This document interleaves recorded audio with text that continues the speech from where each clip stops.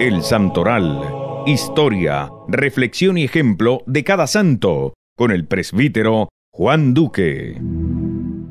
Iniciamos el mes de septiembre y hoy conoceremos la vida de un santo que huyendo a la popularidad la vuelve a encontrar y es capaz de leer las conciencias. ¿Quieres conocer más la vida de él? Quédate hasta el final. Hoy recordamos a San Gil, primero de septiembre. Significa el que protege y es protegido. Una crónica del siglo X nos comenta lo siguiente. Fue natural de Atenas, Grecia. Se dedicó durante toda su vida a la oración. Su primera experiencia mística la tuvo en pleno invierno, donde se encontró en la calle a un paralítico, muy pobre que titiritaba de frío.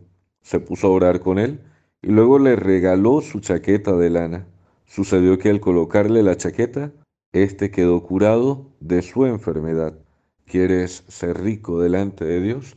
Anda y vende todo lo que tienes, dáselo a los pobres. Estando un día dedicado a la oración, oyó los lamentos de un pobre hombre al cual le había mordido una serpiente venenosa. Este se retorcía en medio de sus dolores y la hinchazón creció de manera alarmante. El santo se le acercó y después de orar un buen rato junto a él, le impuso las manos y el otro quedó totalmente curado.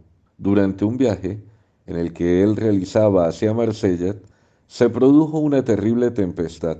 Él reunió a los pasajeros y marineros y se dedicaron a rezar juntos con gran fe, y la tempestad se calmó. Luego al llegar a Marsella se hospedó en la casa de una mujer muy piadosa y de pronto oyó unos gritos angustiosos. Preguntó qué era aquello, y la buena mujer le contó que era su hija, que padecía de espantosos dolores por la artritis. Gil se le acercó, la invitó a orar con gran fe, le impuso las manos pidiendo la intervención del Espíritu Santo, y la enferma quedó totalmente curada. Un día Dios le permitió que llegara junto a su cueva una cabra, la cual se hizo amiguísima del santo, y durante mucho tiempo le proporcionó leche, y muy saludable, para su alimentación. Pero sucedió que un día el jefe político y militar de esa región estaba de cacería por esos montes, y sus perros persiguieron furiosamente a la pobre cabra. Esta alcanzó a correr a gran velocidad, hasta la cueva donde el monje estaba en oración. Los cazadores al verla entrar allí dispararon una flecha.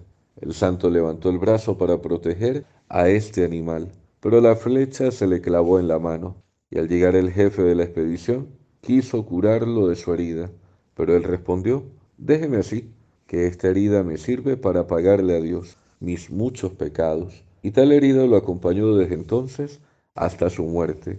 Leía las conciencias, Sí, tal como lo oíste.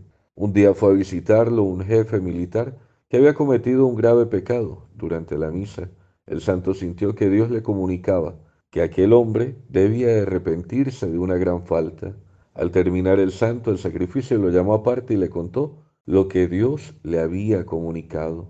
El otro se echó a llorar y exclamó, ese pecado me venía atormentando por muchos meses. Gracias, Padre, porque me libra de este remordimiento. En la Edad Media iban muchas peregrinaciones a visitar la tumba de San Gil en el convento de su mismo nombre. En el mundo hay más de mil parroquias que llevan el nombre de este santo. Es patrono de los tullidos, de los mendigos y de los que son mordidos por serpientes. Que el Señor nos conceda mucho más el don de la sanación.